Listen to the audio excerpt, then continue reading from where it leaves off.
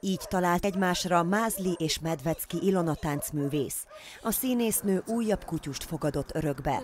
A Mencsvár az Állatokért Alapítványnál volt a négylábú, akibe egyből beleszeretett a művésznő. Egy éve vesztettem el a tacskó kutyámat, és, és egy éve vajudok azon, hogy koromat illetően, hogy még egy kutyusért vállalhatom-e a felelősséget. És az állatorvosom mondta azt, hogy legyek önző, és ne a korommal foglalkozzak, hanem azt tegyem, ami nekem jó, vagyis a, le- a lelkemnek jó.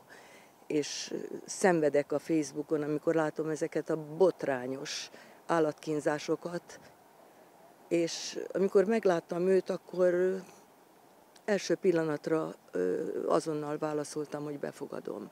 Mázlinak nagy mázlia van, mivel Medvecki Ilona házában egy gyönyörű baldahinos kutyaágy és több barát is várja.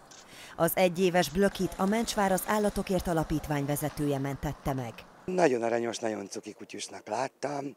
Mindaz mellett, hogy azt gondoltuk, hogy kölyökről beszélünk.